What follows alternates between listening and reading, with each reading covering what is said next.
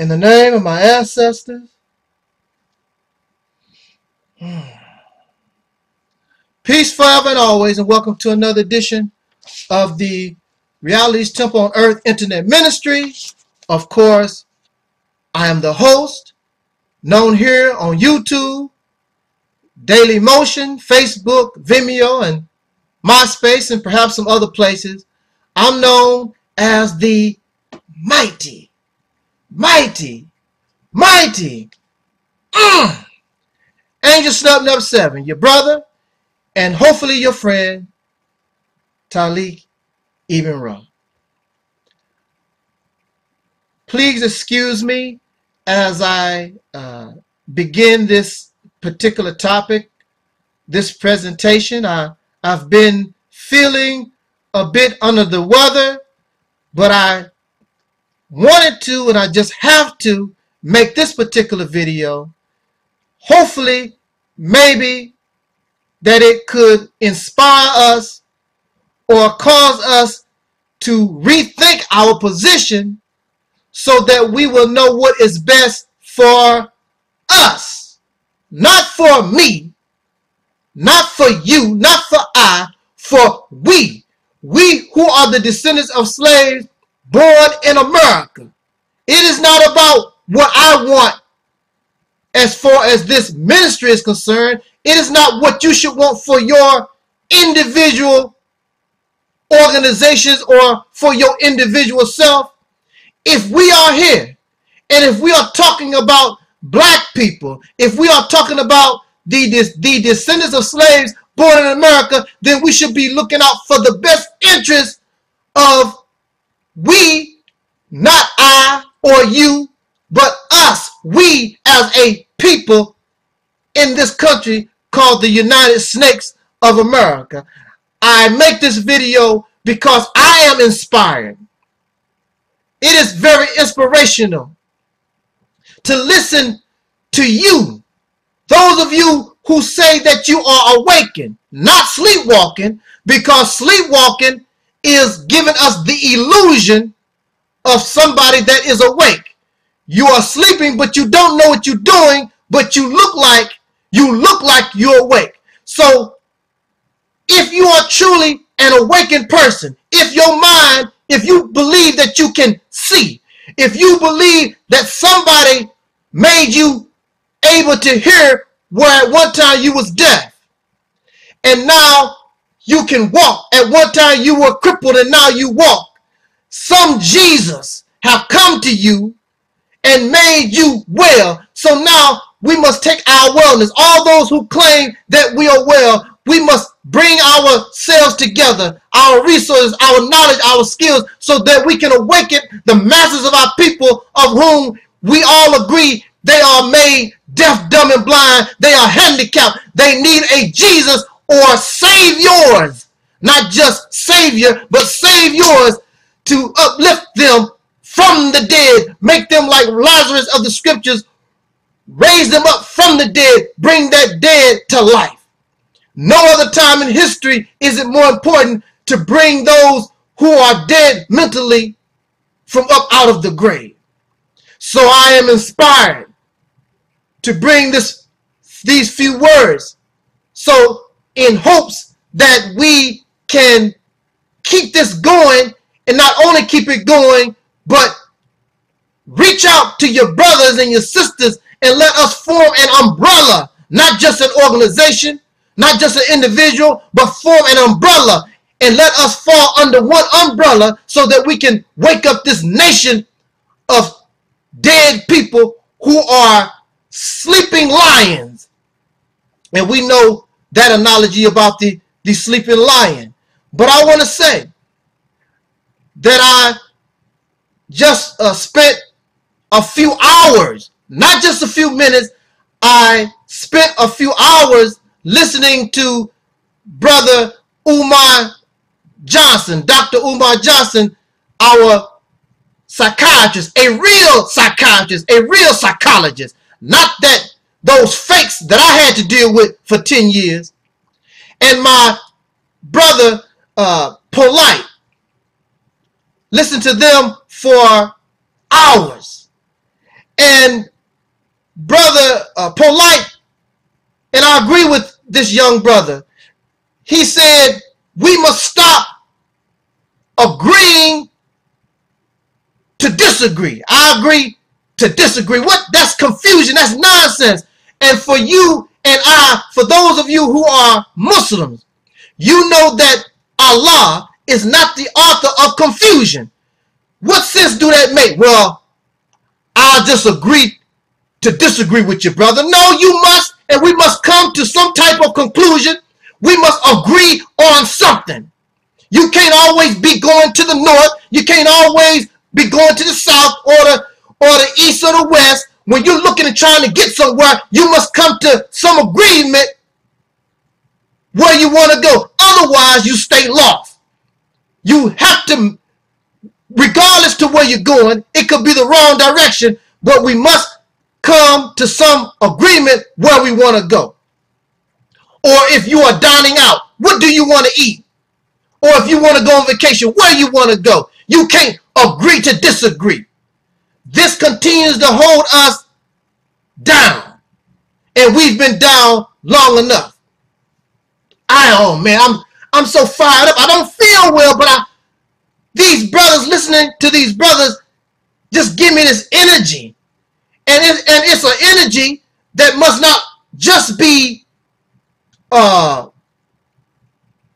happen or occurs when you listen to a video, but it must be an, an energy that causes us to want to act on what we have learned.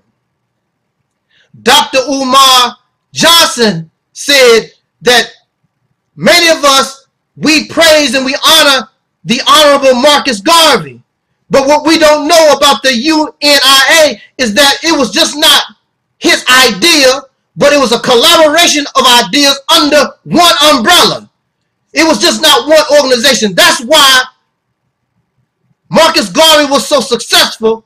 That's why he became the first mega organization for us within this racist society, even though this society puts so many obstacles in our way. Do you know? Oh, do you know? Do you know? Woo! It is so much knowledge. It is so much wisdom. Y'all are some smart people, but we're not smart enough to bring ourselves together. So that makes us dumb. That makes us stupid. So if you're not willing to reach out and come up under an umbrella with your brothers and sisters, no matter how smart you talk, no how no matter how intelligent that you are, you still look dumb because the oppressor, the enemies, all those who hate us, they say what they do. Well, they say what they say and they do what they do because they know they don't have to worry about us as a people because this brother is doing his own thing. That sister is doing her own thing. This organization, y'all doing y'all own thing. But the enemies who hate us, the enemies that exploit us, the enemies that take advantage of us, they do it as a group. And, and they parasite off our blood. They are the ticks that jump on us and suck our blood. And because we are in our own little tiny worlds, and because really, clearly, you must don't love black folks. Because the only way we can we can get out of this condition is to unify and bring all our knowledge, all our understanding, just like Brother Polight said. Everybody got something to offer. We take a little bit of this and take a little bit of that. And, and among us, let's make a melting pot. A real melting pot. One person, one organization, no matter how beautiful you talk, no matter how successful an individual or organization is, you are limited. You cannot change we as a people. But we together, all our powers come together, our resources. Don't you know, brothers and sisters, that the descendants of slaves born in America, don't you know that you and I, we are the richest, the most comfortable, the most intelligent, the most knowledgeable, oppressed people that have ever existed. Now, how can those who were poor, those who were under more horrific circumstance, how come they were able to gain their freedom and independence while having little, much less than we have, and here we are continuing on and on talking about, and we don't have this and, and don't have that because we refuse to unite our resources. And that's something they did in the Chinese Revo Revolution. That's something they did in the Russian Revolution, the French Revolution. There was some type of unification. The Honorable Minister Louis Farrakhan said back in 1984, he told us that unity is more powerful than a nuclear bomb. Don't you know? They fear your unification. As long as everybody's doing their own thing, saying and, and whatever, doing their own thing, they don't fear you. But they fear your unification. And it don't take a whole lot of us. Because when a certain amount of us get together and the people see that our head is straight, they gonna come with ya. The reason why our people is not coming with ya, the reason why our people is not with us is because there's too much confusion and God, and since our people, God is in them, God is not the author of confusion. And also, it says in the scriptures that my sheep know my voice. We're not speaking God's language because God would want us to unify as one unit, as one people. And those of you who are believers in God, those were one people. They were not doing their own thing. They were under one umbrella. God's children, not God's red children, not God's black children, God's Hebrew children, God, they became God's children under one umbrella. And then God led them out their oppression. So that's what we must do. That's what we must do. If you don't, you must be aware and be careful of those blacks who don't want black unification, who don't want to come up under umbrella. Those who don't want to see other brothers and sisters do well. The jealousy and envy. We have to watch ourselves. Because there are brothers and sisters who are out looking for self-grandizement. They're not looking for the for the best interest of the whole. Unity is more powerful than a nuclear bomb. Thank you for listening. Jot down, uh, jot, jot down your comments. Let's talk about it. This is your brother Talik Ibn Ra. This was and is the Realities Temple Earth.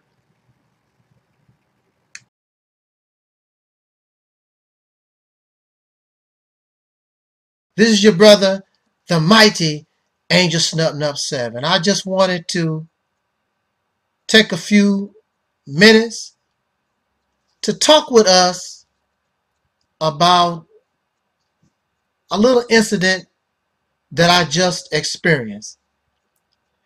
And the subject of this particular video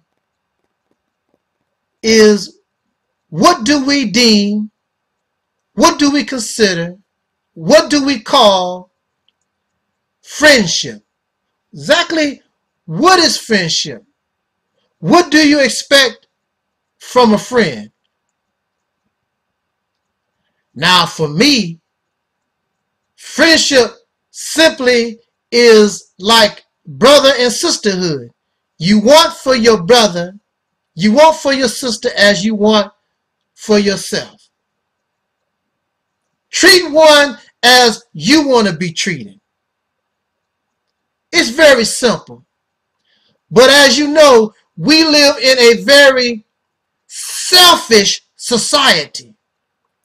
We live in a materialistic society. We live in a society where so many of us, we suffer from low self-esteem. And we are willing to sell our souls so that we can have some type of attention so that we might have value because we don't have value on ourselves. So as a woman, I need to sleep with every man that I can to get that attention, even though I know it is negative attention, but I need that attention because I have no value on myself. As a male, we do the same thing. I want to brag to my quote unquote friends that I got it going on because I sleep with Bessie and Sally Ann and Shaniqua and I'm just a player player. I'm a pimp.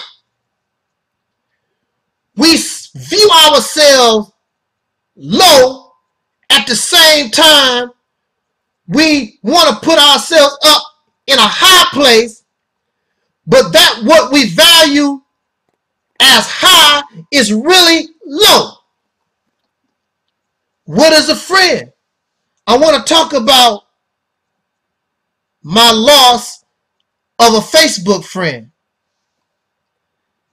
and they what is the word defriend they defriended me because of a comment that I made. This young lady I've known for a few years. Young lady that I met on a job. And I befriended this sister and her sister on the job.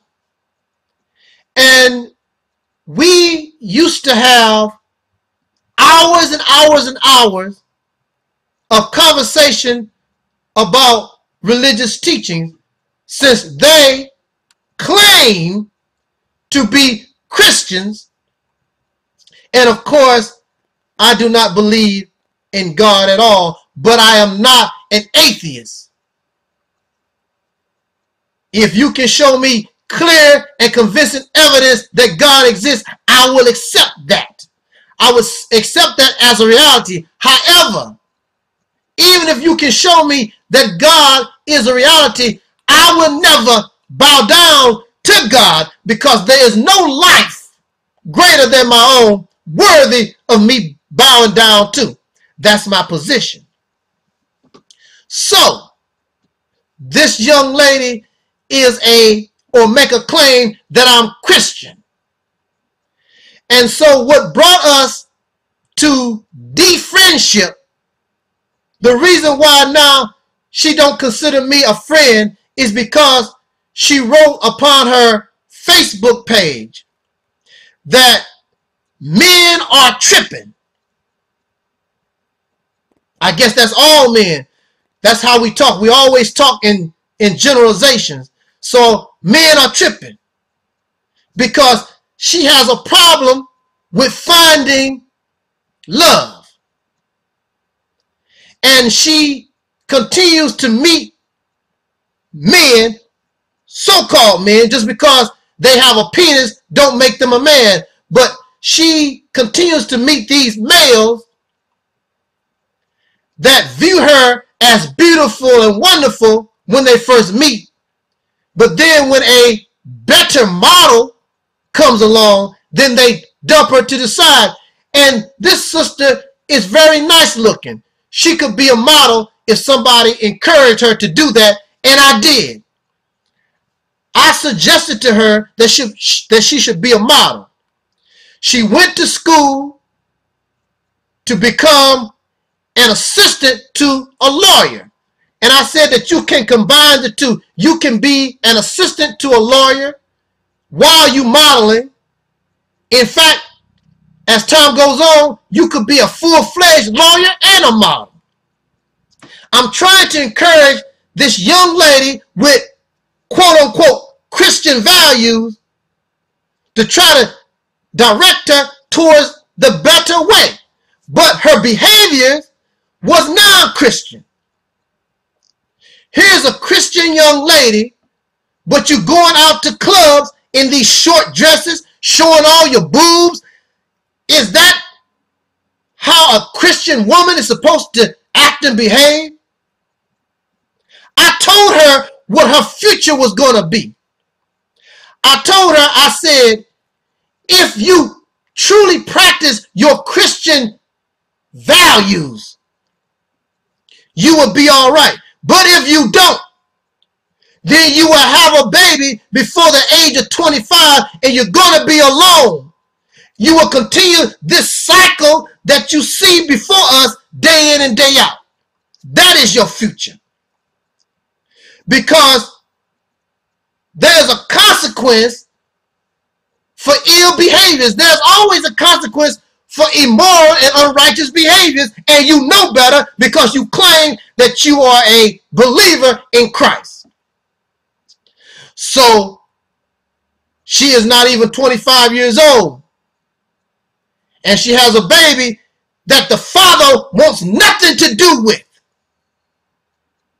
No longer in school, drifting, getting promises from men who see this woman with a child and just wants to use her. Because they see that she is not very bright upstairs, suffer from low self-esteem, illiterate, not trying to seek any type of knowledge, whether it is religious or whether it is educational. So she goes on her page, men be tripping. And so my response is, you place no value on yourself. And so since you place no value on yourself, others did not place value on you. So now that is why you are in the condition that you're in. It ain't men that's tripping because these men are vultures. These men call themselves dogs. They call themselves pimps. So they are doing what they have programmed themselves to do. You as a Christian person should not have ever, ever fallen victim to the smile. Because you know these men, so-called quote men, know how to smile to get what they want. But you wanted that attention. You wanted somebody to love, and then you ended up because because loving Jesus clearly was not enough for you. So she gets angry. So now I'm no longer a friend. So I'm no longer your friend because I tell you the truth. I'm no longer your friend because I was telling you and trying to encourage you to stay in school. In fact, I was telling you to go to church and learn your doctrine, learn how to get closer to the man you call Christ. So I'm not your friend, but you lay down with these men or man making babies out of wedlock like usual. And these are your friends. Those of whom care about you you defriend them. And those who use you like toilet paper, that's who you try to find love and comfort with. Just because I'm your friend, do that mean I should kiss your backside? Does that mean that everything that you do, I'm supposed to agree with it? As a friend, as a brother, as somebody who care about you, no matter if I see that you're doing something that's wacky and, and detrimental for your welfare, as well as the welfare of your new baby, I'm supposed to step up and tell you. But we don't want to be told nothing. And so this cycle in the black community that we suffer, it goes round and around and around suffering from low self-esteem. Give me some attention. So now the baby gives you attention. And instead of being a parent, the baby becomes your friend. When the baby needs a mother, the child needs a father, not a friend. And so that child will grow up and continue this pattern.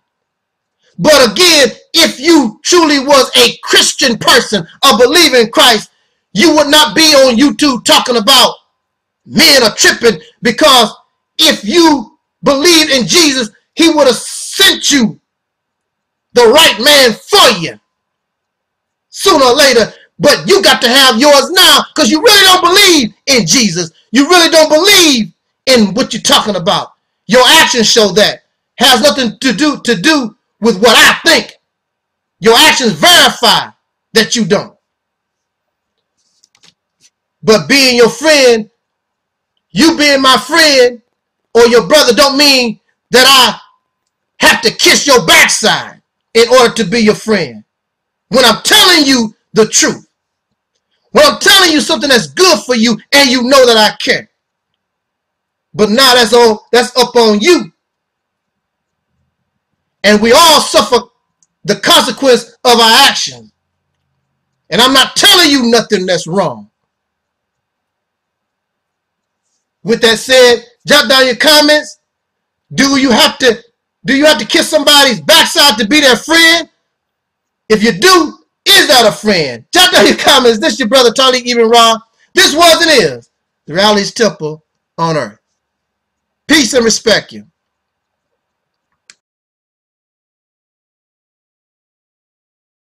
Partners, this is your brother, the mighty Angelsnupnup 7.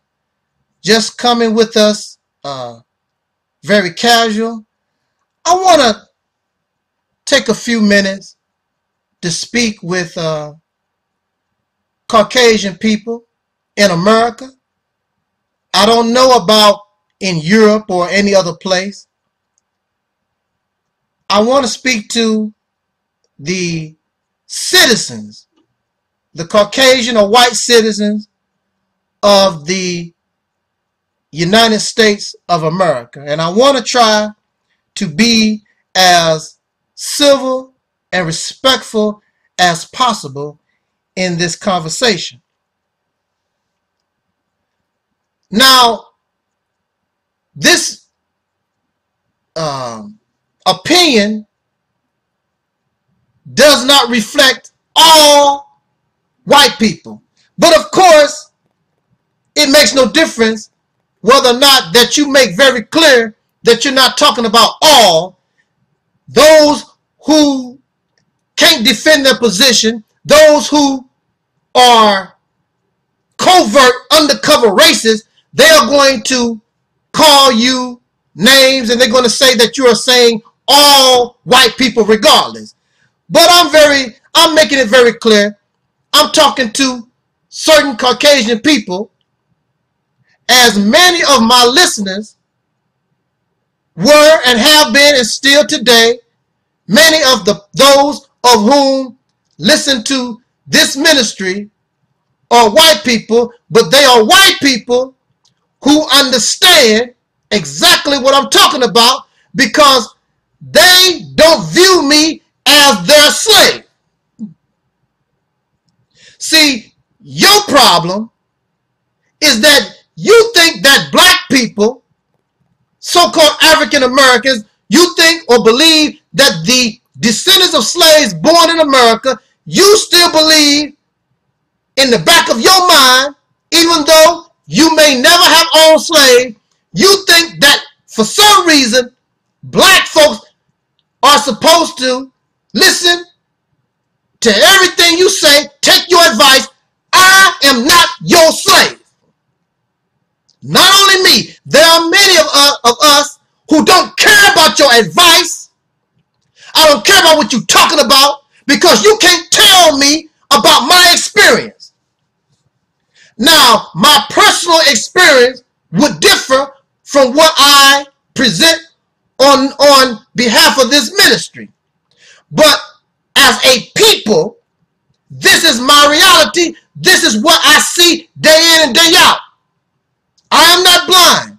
I don't care about your rims. I don't care about your marijuana. I don't care about your beer. I don't care about your churches. I don't care about the things that you placed upon me to make me and keep me enslaved. I am not your slave. I don't care about what you wrote in some book. I don't care about your sciences. I don't care about your educational system. All the things that you design to benefit you and to keep all dark people in a subservient position. I am not your slave. And that's what you cannot handle. You can't tell me. I see exactly what is being done to myself and my people within this nation. Been going on for 400 years. It has not stopped. These Many of our my ancestors have gone in the streets crying and singing, we shall overcome and have yet to overcome. In fact, it has gotten worse because now it's undercover. You can't see it like you used to. At one time, white supremacy or white racism, it was in your face outright. Now you slick and you smile more. You know how to grin and skin while you stabbing somebody in the back. I'm not your slave. You don't like me and brothers and sisters like me because we know that you are a liar. And once you lie in a court of law, under your own law, it's called perjury. Once you lie, nobody does not care about anything you have to say. You are a liar. This nation, your leadership, the people in the white people in this country, you have shown and proven yourselves as untrustworthy and liars. You don't like to hear that. But your own history proves it. And you want to get angry at me because I'm bold enough to tell you in your face you are a liar. You can't help it because white racism has become a way of life. You was born into it. You are a white racist and don't even know it. Racism would not have any type of power if it, if a if a minority of white folks practiced it. It would mean really too much of nothing. But it is a way of life. It is in the court system. It is in media. It is everywhere that you go in this nation. That is my reality. It affects myself and my people. We know this. You can't come to me and tell me that it don't. You can't tell me about my experience. Now you have those blacks because they have some rims, some cupcakes, and they have some material things. So it's not the fact that racism does not exist. They are comfortable because they have some things to make them comfortable. It's just like somebody putting putting you on a fire, but somebody putting a pillow under your head to make you comfortable while yourself burn. Burn, baby, burn. But see, even Caucasian people, see, you are enslaved also, and many white folks are understanding that you are enslaved. But you have accepted your fate. So here I am, a black slave, a mistreated, oppressed person. You a slave. Why do I have the nerve to cry? Everything is all right because as a white person, I, I'm enslaved too. I am enjoying my slavery. How can you live in a nation? Now listen to me. How can you live in a nation of billion dollar corporations? The people that control the corporations, you watch them on lifestyles of the rich and famous or whatever. Let's use McDonald's as an example. McDonald's brag that they are a billion dollar corporation, but they pay their employees minimum wage, barely give them benefits. How can you be a billion dollar corporation, but you don't want to share the wealth with those who made it possible for you to get rich like that? That's slavery. A different kind of slavery. And then you brag about McDonald's. You praise them for, for, for being a slave owners. And then they sell you this all this cheap food that is designed to make you obese and make you sick. And you feed it to your babies. They get rich from giving you poison and paying you little or nothing to serve the average people on the street. Then you want to get angry at me because I'm telling you that not only am I facing that, but I'm facing white supremacy. Can't we all just get along? Get along in what? Let us all get along in oppression. So the poor, all the oppressed people, all the poor and the middle class people fight one among one another because somebody is trying to keep us satisfied in our slavery. Then we make entertainers rich. We make Jay-Z and Beyonce and Brad Pitt and Angelina Jalaka or whatever her damn name is. We make all these people rich. The only thing they do is acting, being fake. That's what they do for a living, being fake, singing and dancing, whatever. Because as a poor person, being a slave, your life and your and my life miserable. So we use Jay-Z and Beyonce, Brad Pitt, Tommy, Tommy Lee and Pam Anderson and all these other folks. We use them like a drug to go into a fantasy world so we can forget our miserable lives for a few minutes. Then we turn to over sexing. Then we fill our rooms with pornography, drugs, and, and alcohol.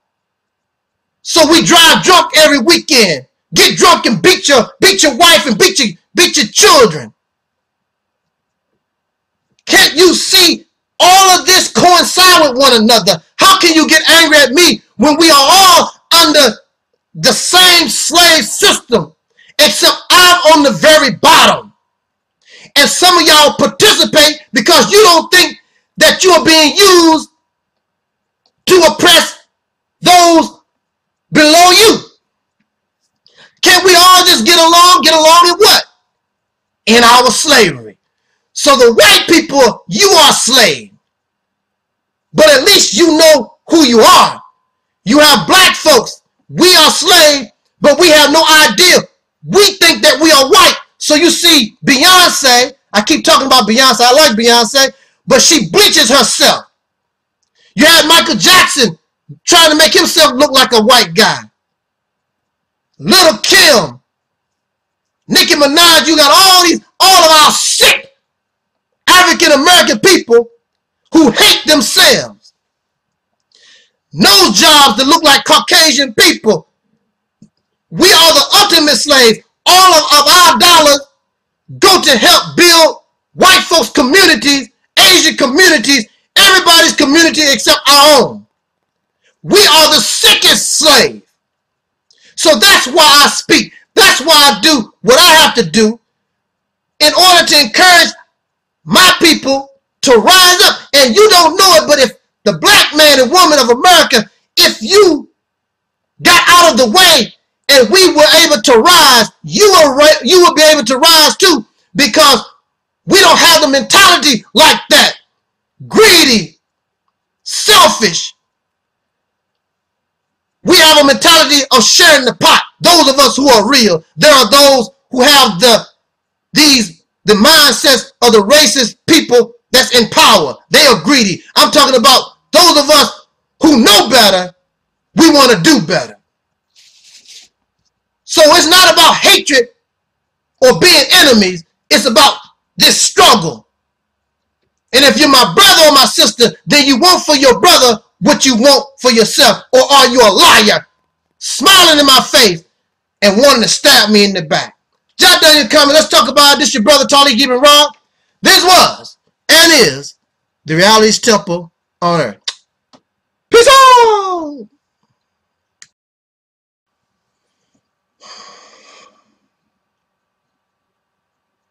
In the name of my ancestors,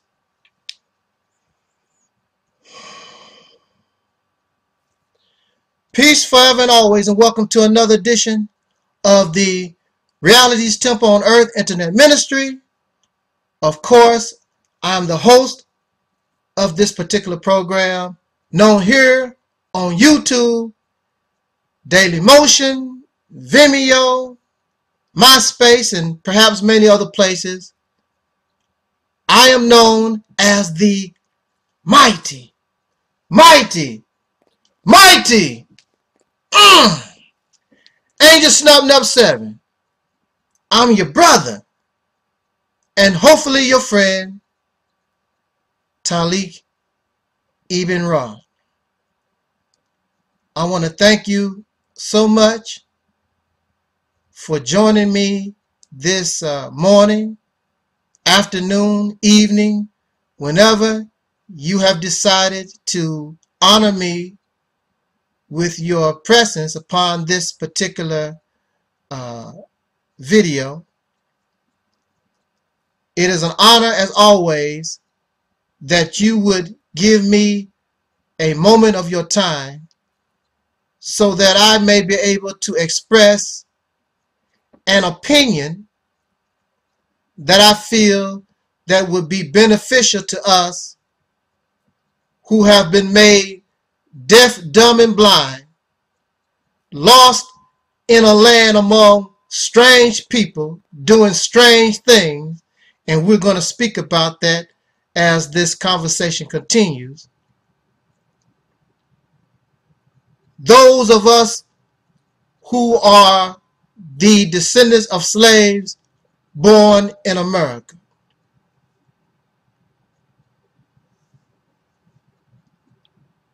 Now,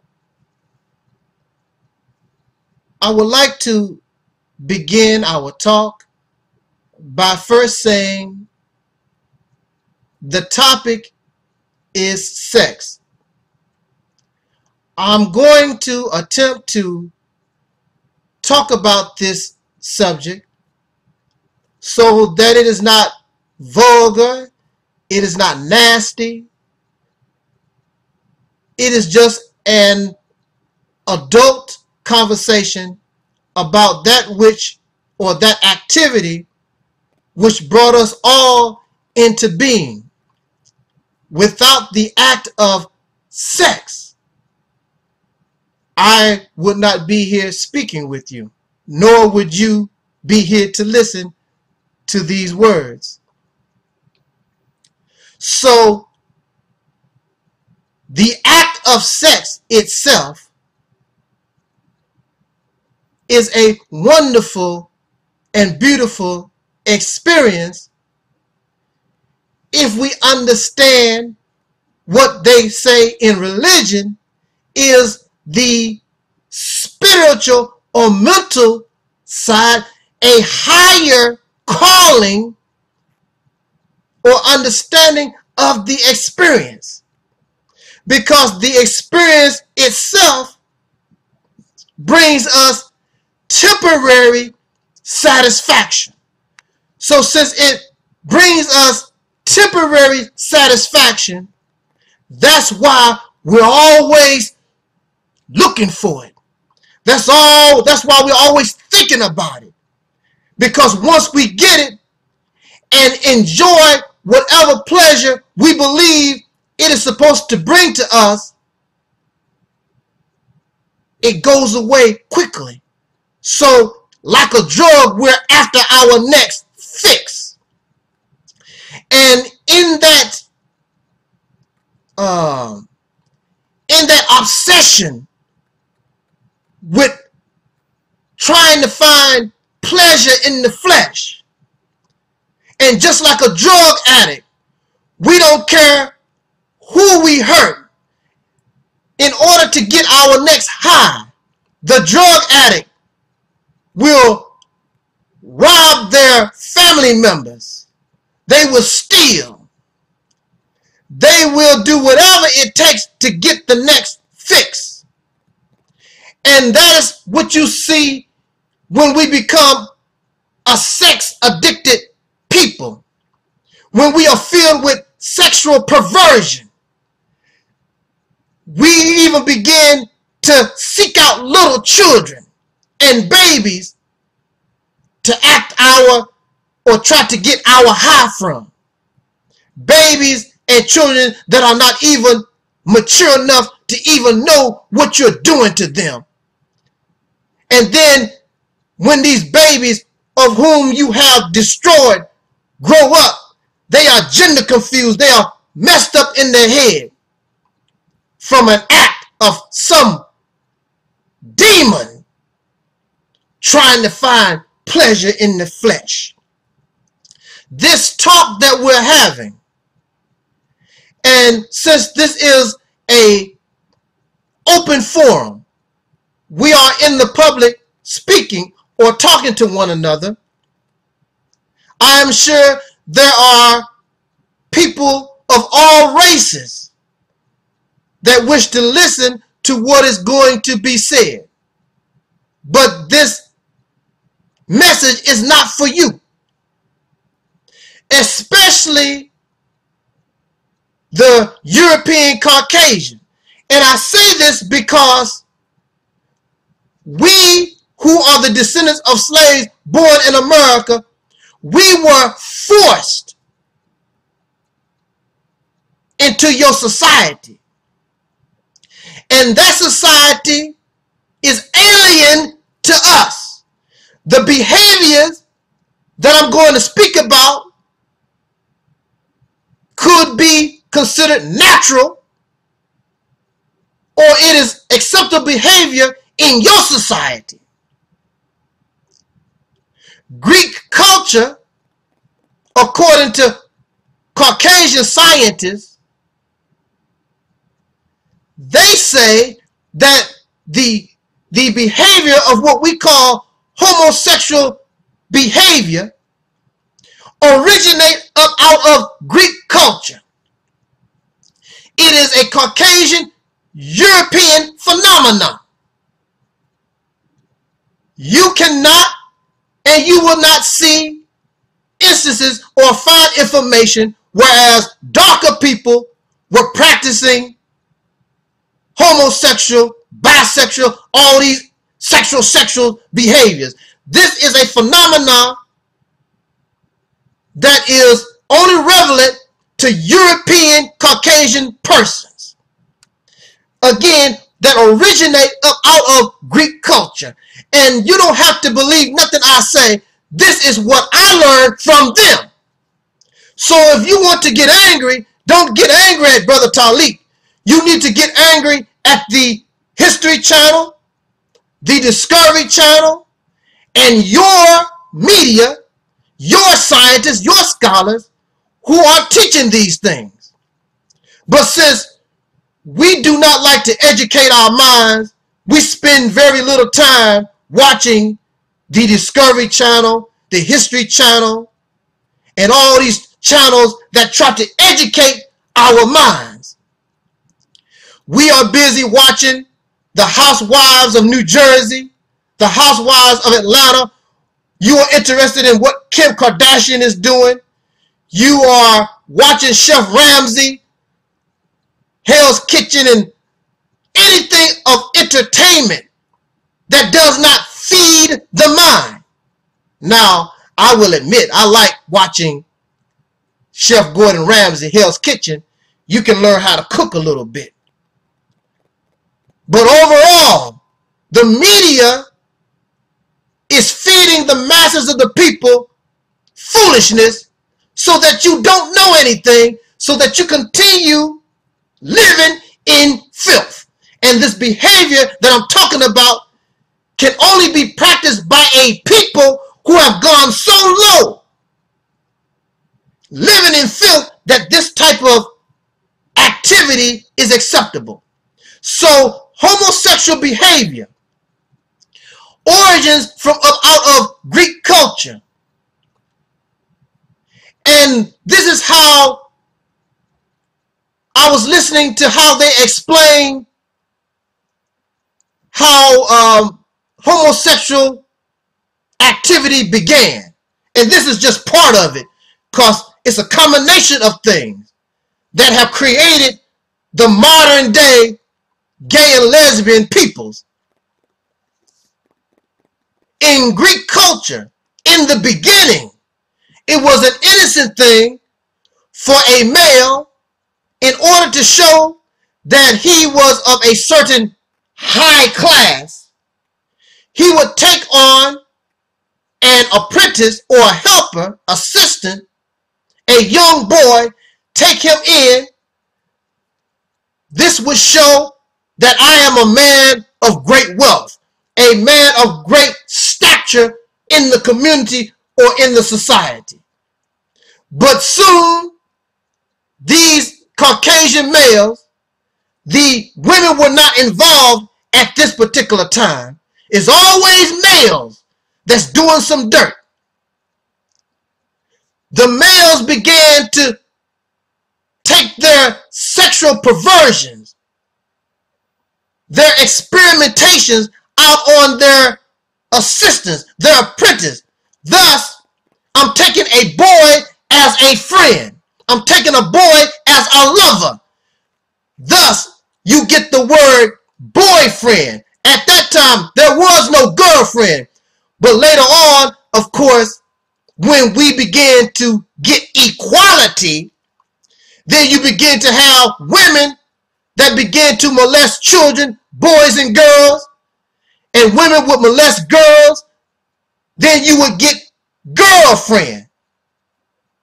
And then, of course, when the Europeans began to conquer the African peoples or any dark people, they began to emulate and copy this perverted type of behaviors because they were raped and molested as children by their oppressors. And then, of course, even when we begin to become free, then we continue that which these same behaviors that oppressed us. I can compare this behavior with incarceration. You have those who have been incarcerated who have learned the style of the sagging pants. And then once they come out on the street, they don't have to no longer do that.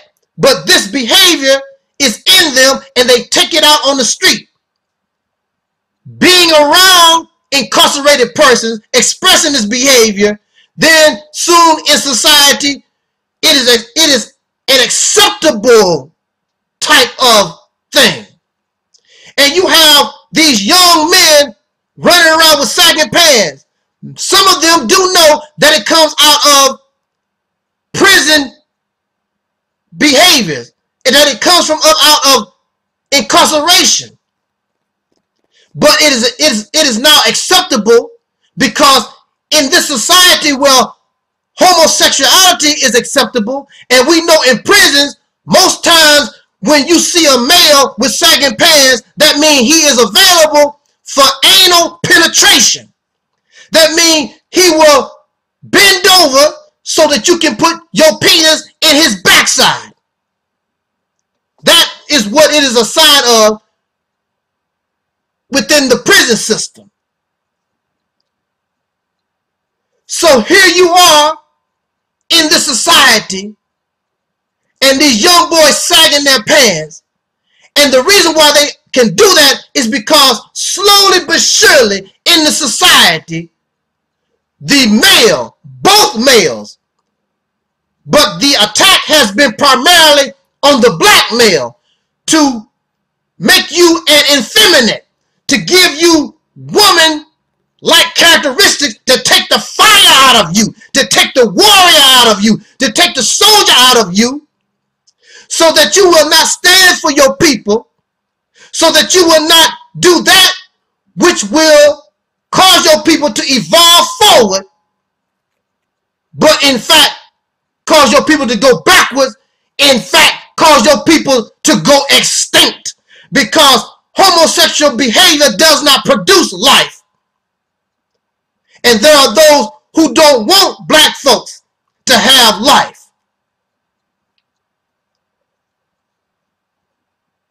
Would you be my boyfriend, my girlfriend? Why would you call a grown man a boy? Why would you call a grown woman a girl? Friend.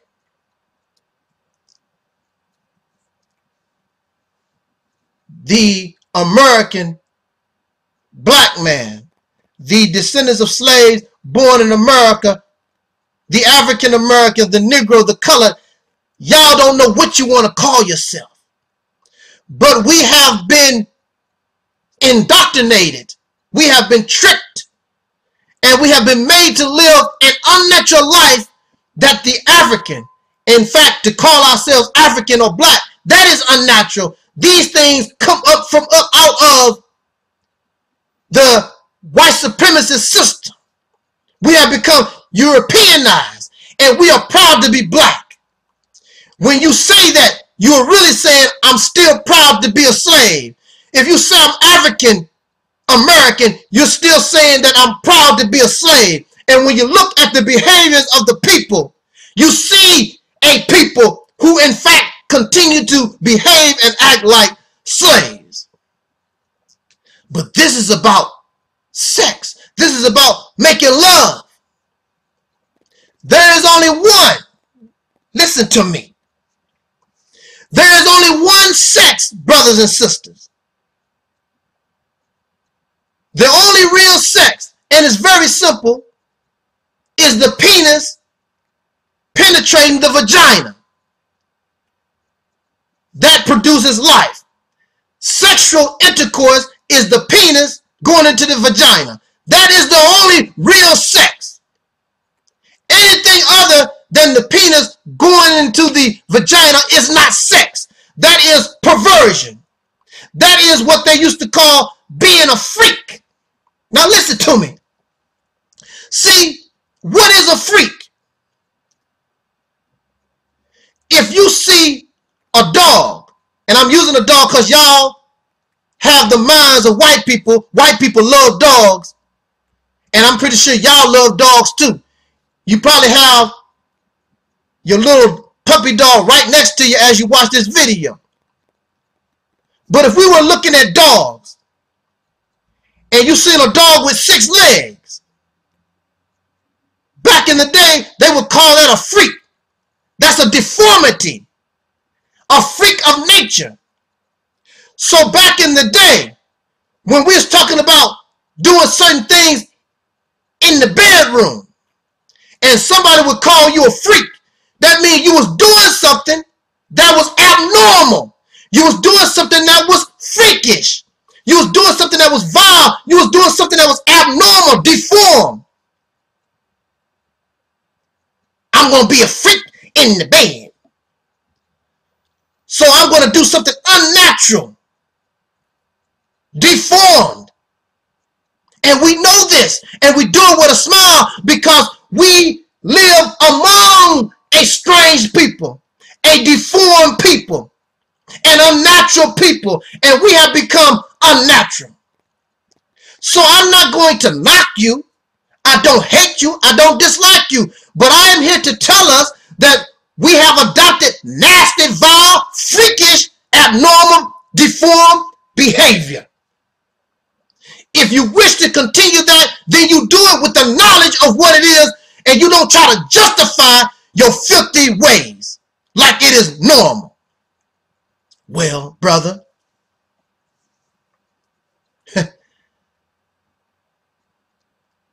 I was taught in school that oral sex, anal sex, and all this other sex sex is sex. The Caucasian, European, white man, or Americans, they always use science.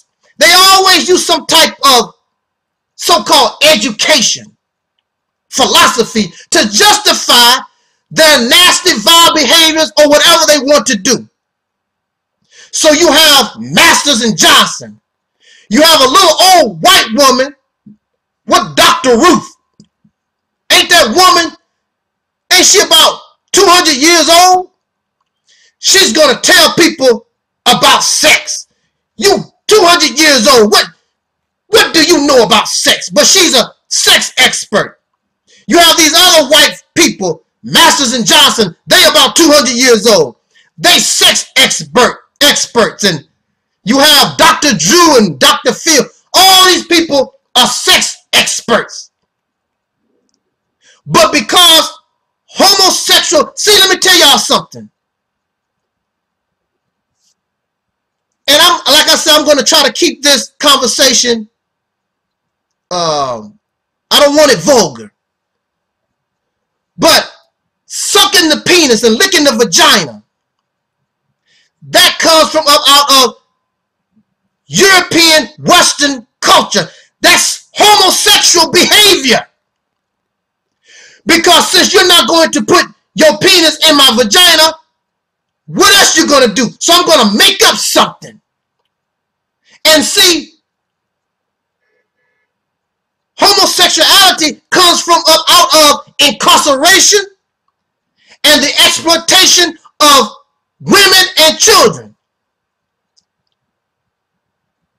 When a man tells you to suck his dick,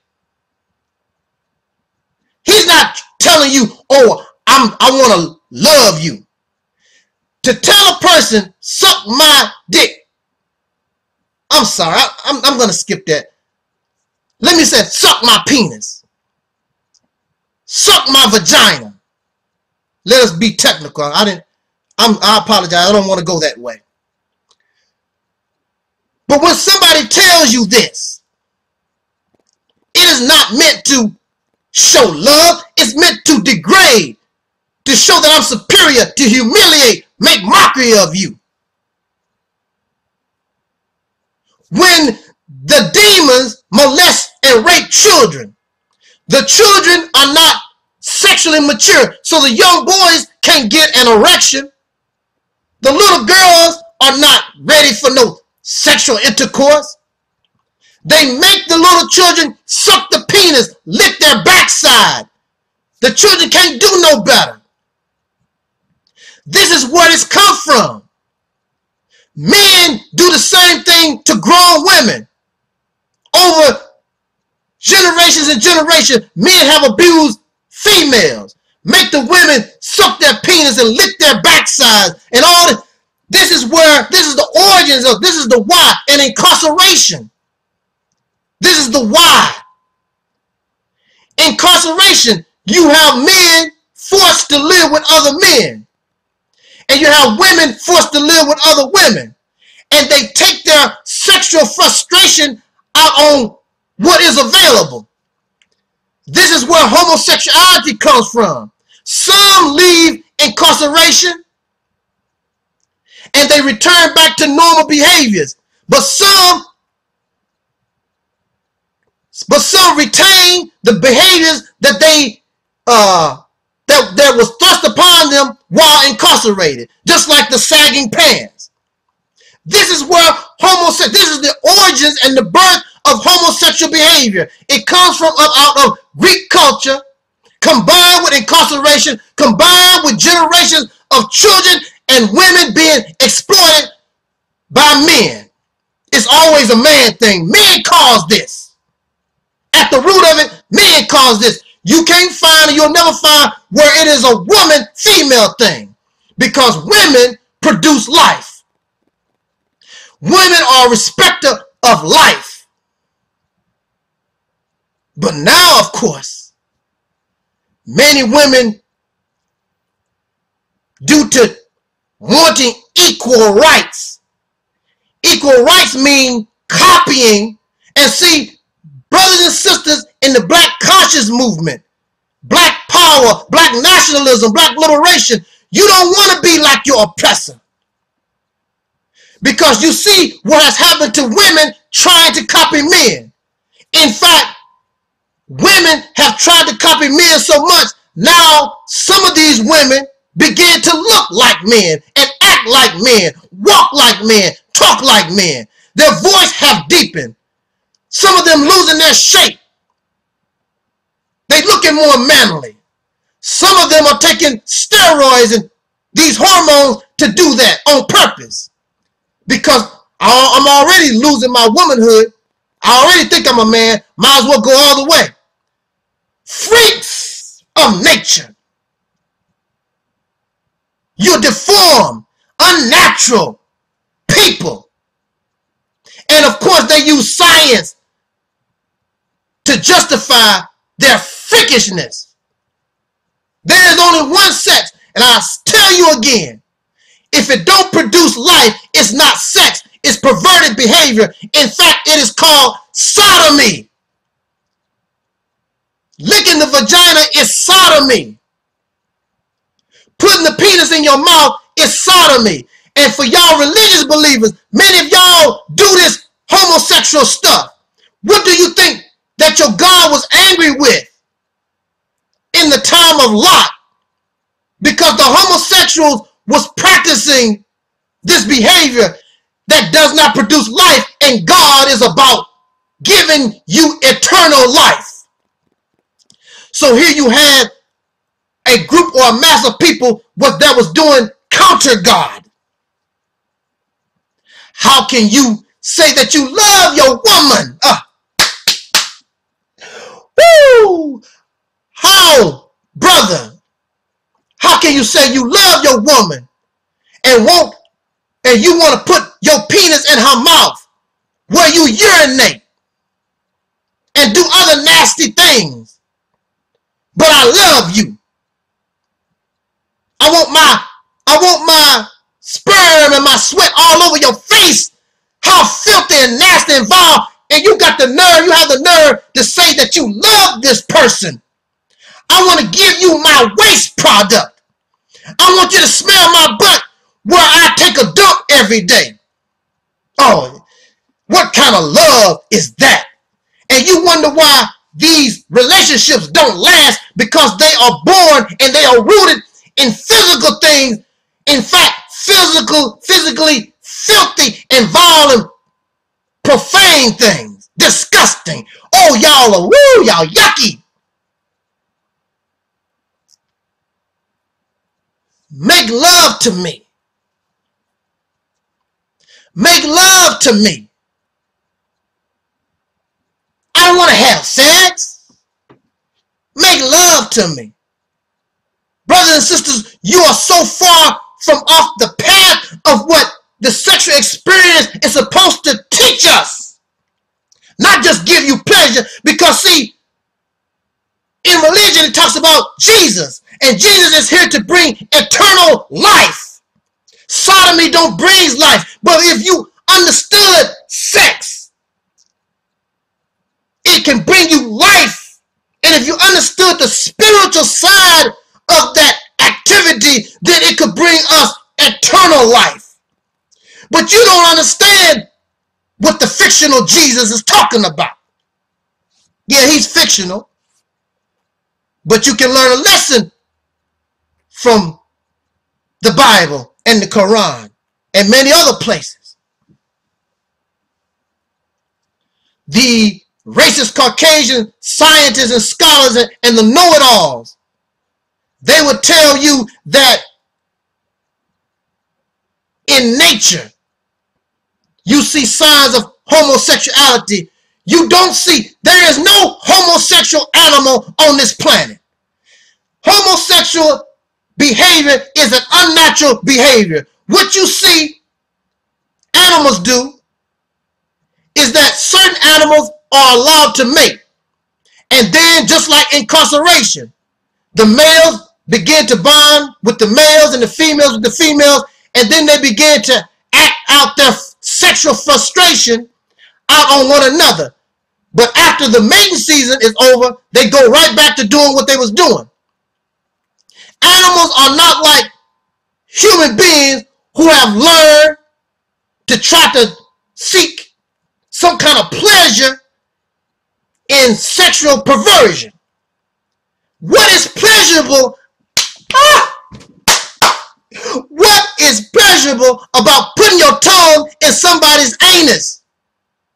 Oh, what is, that shows how filthy and low down and nasty we have become. Following behind a perverted, unnatural people. And you love it. But see, that's on you. But I'm not going to stand around and listen to your filth and not tell you about your filth. You stink and you dirty and you nasty and you foul. And I'm that's what I'm going to tell you. Whether you like it or not, you can't handle the truth. This is the real truth that has come to us to let us know that we have been deceived. You're living an unnatural life. Mm-mm-mm. The reason why we have come this far is because of corrupt men.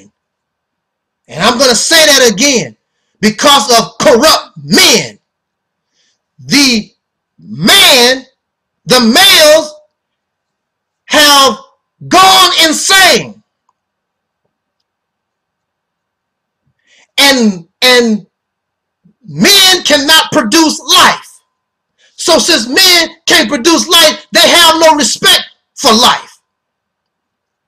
But they want to have the honor and the position of woman. And so you're living in a world that has been born and it, has been created by males who disrespect women. All your religions is anti-woman. Women can't do nothing of, of anything of any value. It's always about the man. The male, if you look at what has happened to this planet while men are in charge, the only thing you see is constant warmongering, murder, killing, because these males cannot produce life and they don't have respect for life. They don't care nothing about destroying the earth because this earth is known as Mother Earth. They don't care nothing about nature because nature is considered Mother Nature. It's about the woman. It's about that which can produce life. And you have corrupt males that is in charge of this planet that cannot produce life. They can help bring life. But see, the life that they bring into being, they want to enslave it. So all over this planet, you see signs of enslavement. The males, not the women, the males are behind enslavement. Then they enslave animals. They are about enslavement. That's because they have lost their way. They're trying to be the woman, but in order for you to be like the woman, you have to be able to produce life, and you can't do it, black man. You can't do it, white man. You can't do it, Chinese man. So their hatred for the woman, they try to force you to submit to them.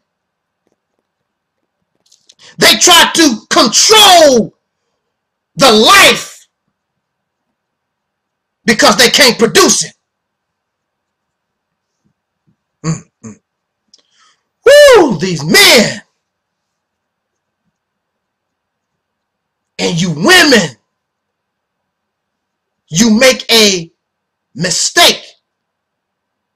See, you have become sexualized. Because at one time, women did not women did not trip off my orgasm. I gotta do this. Because that's not you. You don't care nothing about that. You are interested, your pleasure, because you know that life brings you eternal life. You have a connection to the womb. A man does not have a connection to the womb. So he don't care about nothing. You always hear stories of women willing to risk their lives real quick to save their babies. Women don't mind taking custody of their children because women are the nurturers and, the, and can bring life into existence. You don't see men fighting for their babies. I, I just want my babies. I got to have my I got to have my children. You don't see that. You don't see men rushing, trying to fight and defend their babies, especially in the black community, because if they did, we would be in much better shape. But you'll find black men at the dope house and the liquor store with their sagging jeans and drunk. They don't care nothing about life. That's why it's easy for you to see men in bad shape like that because they are lifeless. But in religion, you have a person called Jesus that come among those whom are dead and raise them to life. Woo! If you only could understand what that meant, because Jesus is here. But Jesus is not one man. Jesus is a people that have been given certain information to raise not only themselves, but the masses of humanity, bring them from a dead state, a filthy state, bring them to life. It's not going to be easy because it says in your revelations that this war of Armageddon, a great fight, have to occur in order to bring the people back to this God. It also says that only 144,000 will be saved. So I'm not shocked that many of you will reject my message and disagree with what I'm talking about. Because many will go down in hell with the devil. But see, you're already living in hell. The purpose now is to go high. That's why we all that's why we want to get to heaven because heaven represents a higher place. Hell represents a lower place. You can't mess with me because I'm in a higher place. I'm beyond the flame. I'm beyond the fire. That's why you can't touch this. No matter how hard you try, no matter how smart you think you are, no matter how fly, and you really can't do nothing with me with all that urine and feces dripping out of your mouth. Sex is a beautiful thing, brothers and sisters, but I tell you this also, whether you married or not married, when you begin to obsess with sex, it clouds your mind, it clouds thinking. Because that's not what you're about. You're more than a penis. You're more than a vagina. Religion is trying to teach you that you are God's, that you're a child of God.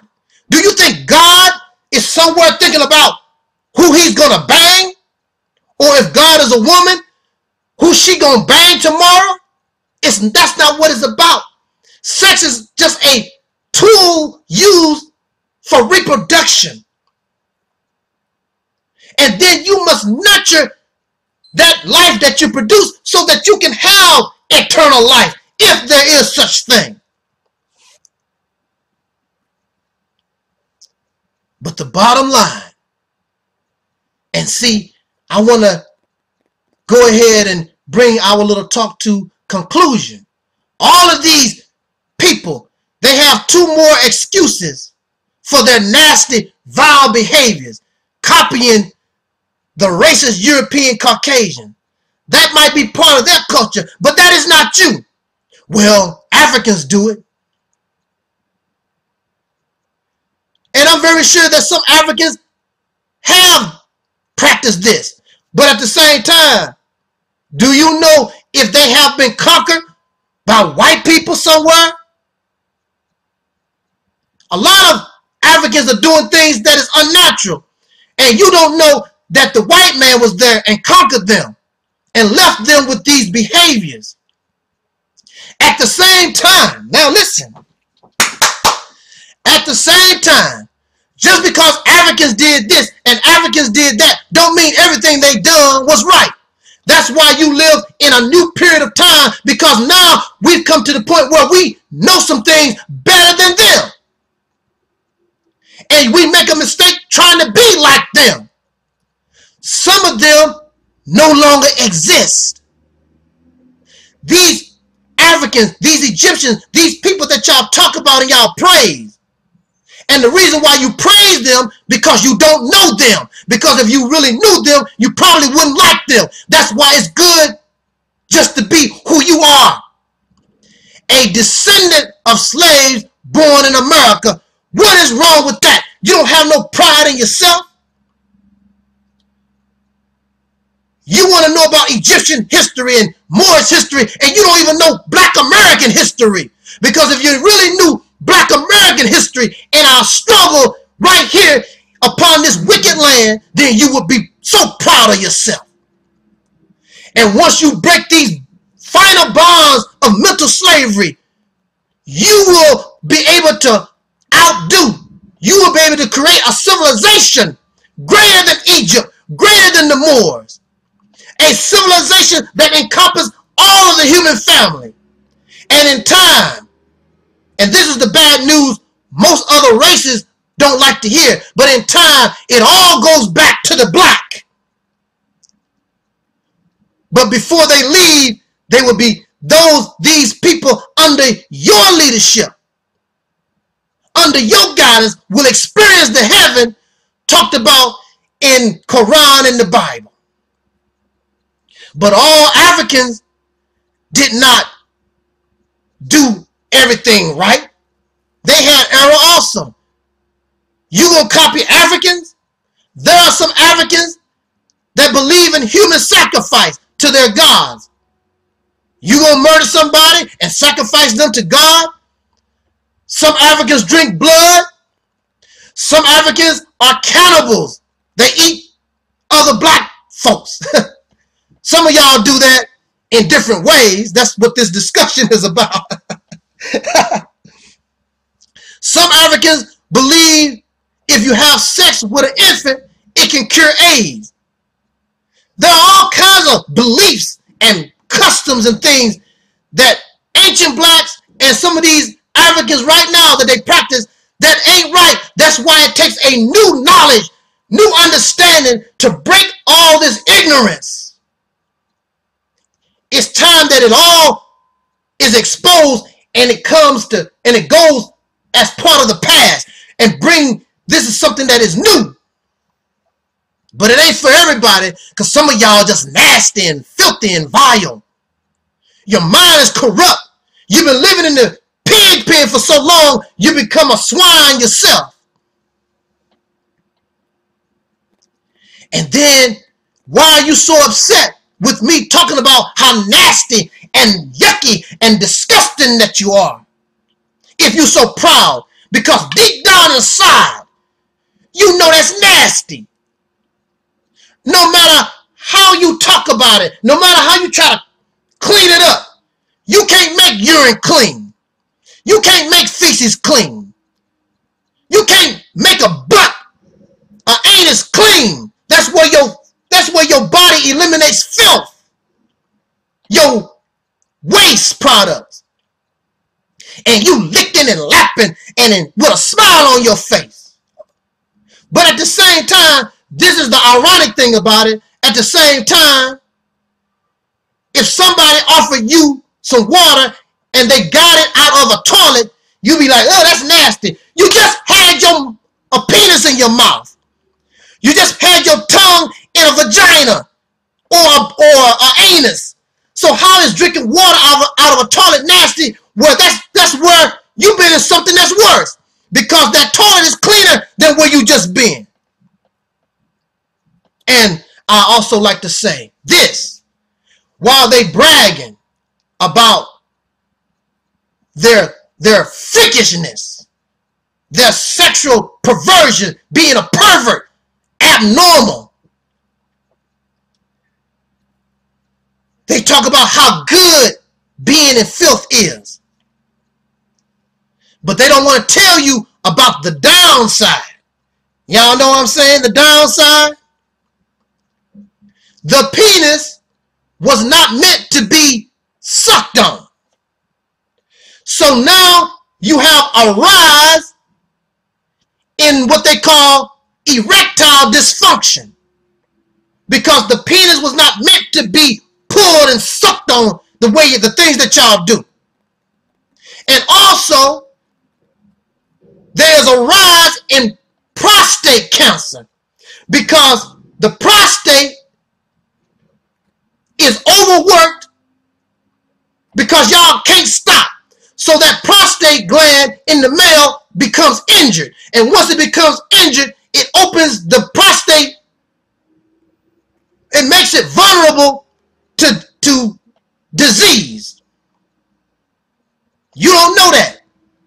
You think there's a consequence. There's a consequence from playing in filth. Why you think you have to take a bath? Why you think you have to be clean? Because if you're not, you don't take a bath, you don't try to be clean, then you open up your body to viruses, cancers, to sickness. And what y'all doing is sickness. The vagina was not meant to be sucked and licked and all that stuff that y'all do.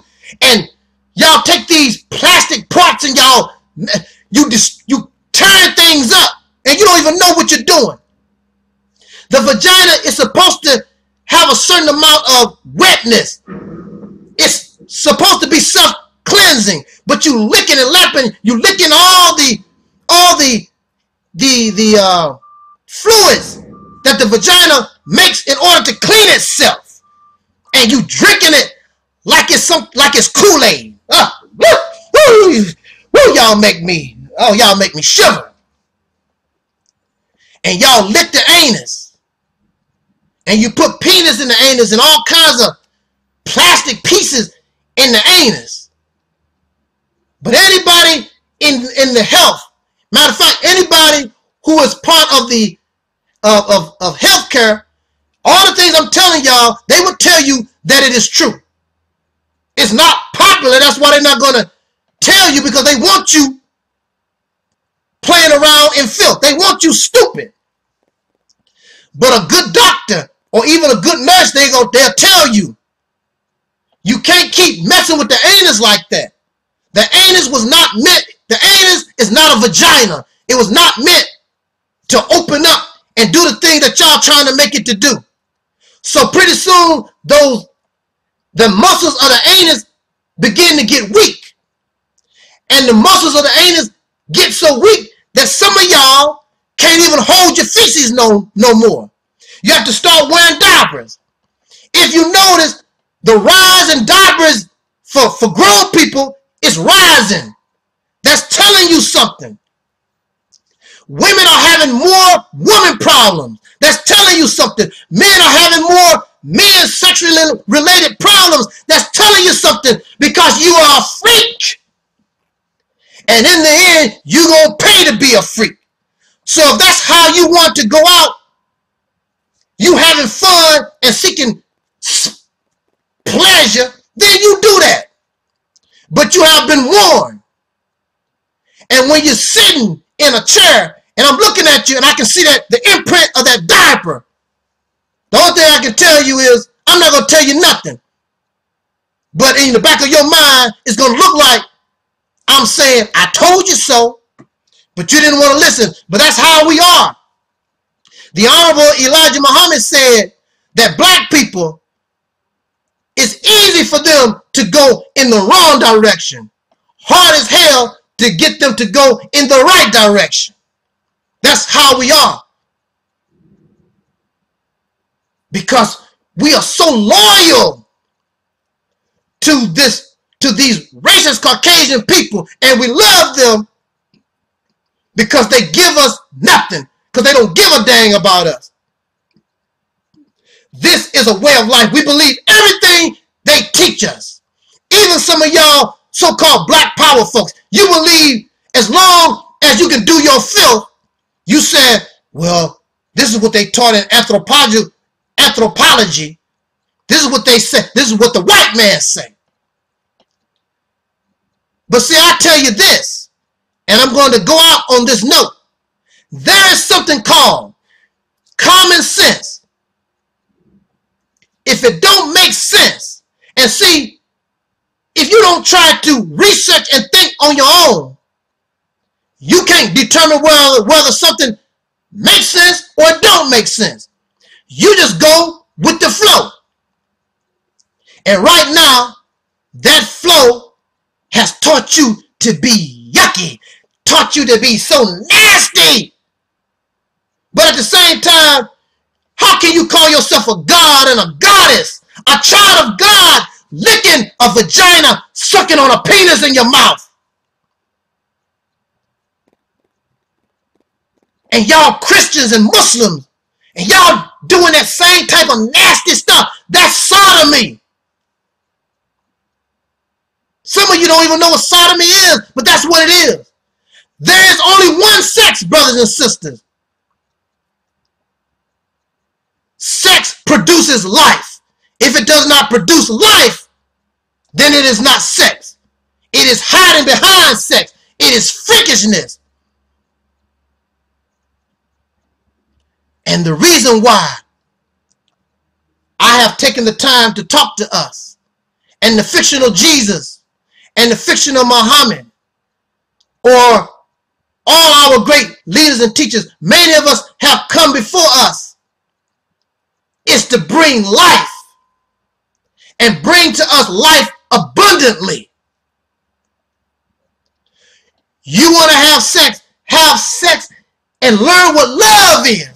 How you to have sex? That's why you can't, you really don't feel nothing because you, you don't have no love. Who loves the black man and woman? You've never been loved before. Oh, that's what you talk about is old fashioned.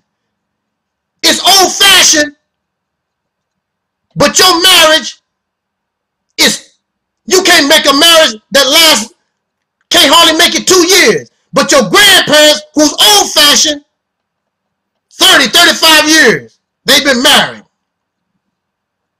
You can't keep a boyfriend. You can't keep a girlfriend jumping from one person to another. But you live in new fashion. So maybe you need to take another look at old fashion. Maybe there was something there that can show you how to live better. But you so you have been you've been programmed, you have been you become a sexual deviant. They keep booty in your face and penis in your face and booty in your face all the time. And you can't break the grip of the devil and Satan. Even in church, you can't wait to get down. And that's where you're going to always stay. Stay down. So we need somebody or somebodies to bring us a message to raise these who are and have become dead, lost, deaf, dumb, and blind, raise them from a dead state to life.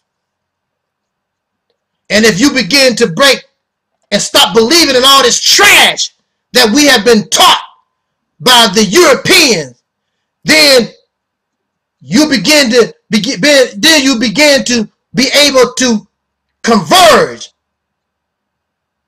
and understand your true nature. And your true nature is much higher than putting a penis in your mouth and licking a vagina like it's a lollipop. That is so nasty, y'all. Woo! How can you be so proud?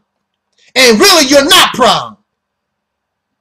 You just been tricked and you've been deceived. Think about it. Think for yourself. Rationalize. Use common sense. Look at it. You, you and I, we're not nasty like this. That's their life. They forced us into this. You are beyond African. You are beyond black. You and I are the children of the universe. Babies, the progeny of what they say or what they call the Most High. Thank you for listening. This your brother Taalik Ibn'rad. And this was and is Think for Yourself. This was and is the Reality's Temple on earth.